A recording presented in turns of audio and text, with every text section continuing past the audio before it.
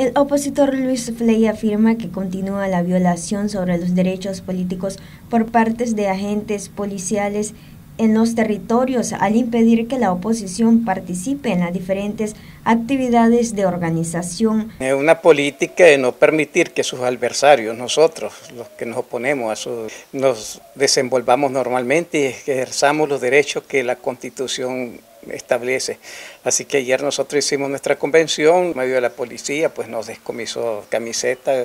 gorra, mascarilla, pero eso nos demuestra que estamos con la bota no quiere permitir que los que les adversamos nos, nos organicemos y compitamos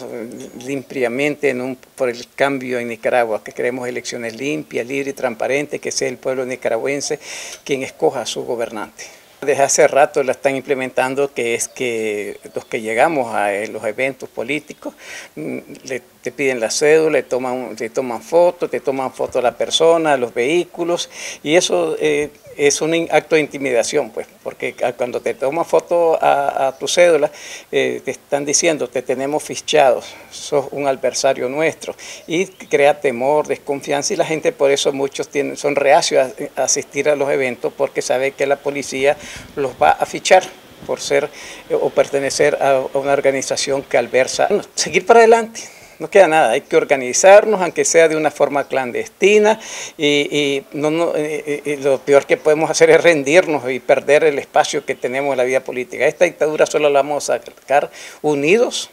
y organizados,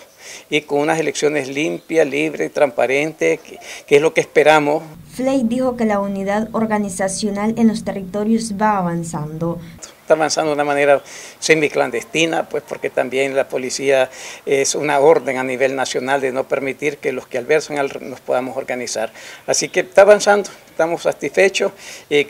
los, los, pasos, los pasos se están dando, los, los programas que se estaban previstos se están dando. Noticias 12, Darlene Telles.